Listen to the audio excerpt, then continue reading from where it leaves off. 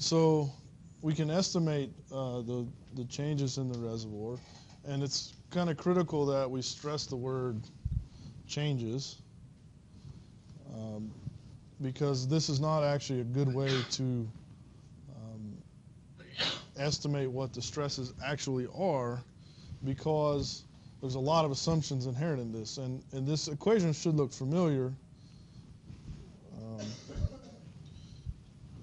my fraction lines would show up. The equation should look familiar because you derived it in homework three. You may not have put it your final form in exactly that way. I know in the solution I didn't, but if you uh, if you look at the solution that I posted and, and you just multiply it out, uh, you, you get exactly what's here. And so if you did it correctly, you derived this equation. So if you remember, there was a lot of assumptions inherent in that, and uh, the assumptions were that there basically is no horizontal strain, right? So there's no horizontal strain, and then of course the stresses are isotropic elastic, right? And so in a real reservoir, as you get depletion, you could get into a zone of inelasticity, uh, you know, not a zone, but a rather a, an, uh, an area on the stress strain curve where you're actually not elastic anymore. And in those cases, um, this will not be, uh, you know, a very good estimation. But as a, as a first order estimation, we can use this equation. And the way we do that would be then we, we're going to take the derivative of both sides uh, with respect to pore pressure, right? And so if we do that, if you were to just take the derivative of the right-hand side uh, with respect to pore pressure, you would get something like uh, minus, this is really difficult. I'm just going to write it on the board, I guess. You would get actually uh, 2 mu minus 1. So if you just took the right-hand side of the equation on the top and took the derivative with respect to pore pressure, and you can see that by inspection. Even if you simplified, you would get this. Um, but the key here is during production. So during production, any change in pore pressure is always going to be negative.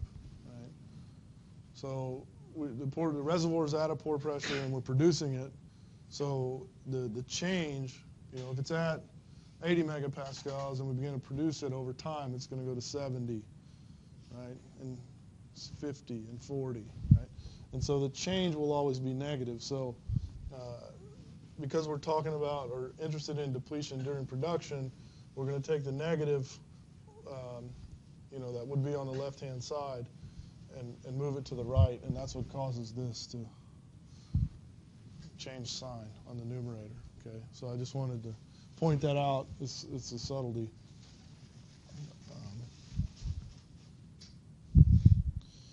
And so then, you know, then you can get a relationship between, you know, by just, uh, you know, taking the continuous derivative and approximating with discrete changes, the change in horizontal stress um, oh, I guess I didn't really define horizontal stress, but it's clear from that equation that we derived, we, you also made the assumption that the two horizontal stresses are equal. So you can just say, call them stress horizontal, right? So a change in horizontal stress is um, this constant times the change in the pore pressure. The, the alpha is Biot's coefficient, and then it's just Poisson ratio. So if we, you know, plug in some reasonable values like you know a quarter for the Poisson ratio and, and Biot coefficient near one, then you can see that you know you get what's on the order of magnitude uh, two thirds. You know for every uh, increment in pore pressure change, uh, that represents uh, two thirds times that is a change in the horizontal stress. Okay, so this kind of give you an estimate. And uh, this, you know, I was really counting on my pen to work because I have to draw the lines here. but um, so for given for given values of uh, Poisson ratio, see if I can.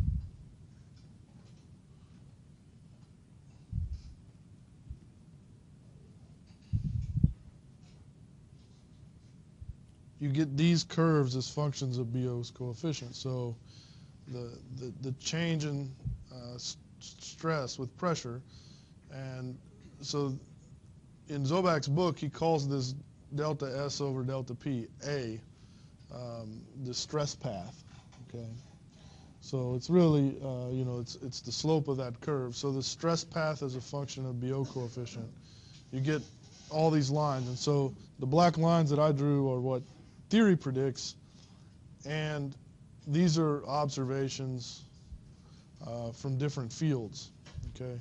And so in those observations, they had to have estimated uh, the minimum horizontal stress in some way uh, with a, a mini frac or something like that. And then look at the change in pore pressure due to depletion over time.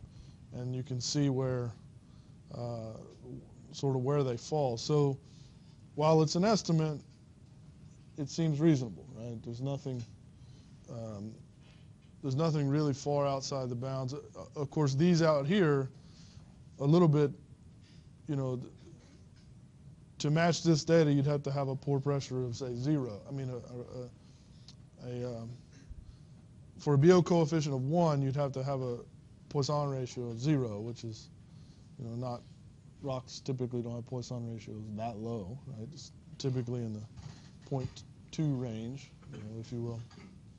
So in these cases, it's probably a good indication that the formations exhibit a lot of inelasticity. Um, and it turns out, I think, if you look at what those formations are, um, they're very chalky formations that are likely um, under under the vertical stresses where these reservoirs were um, produced. th- th- They're very likely into some inelastic range. Okay.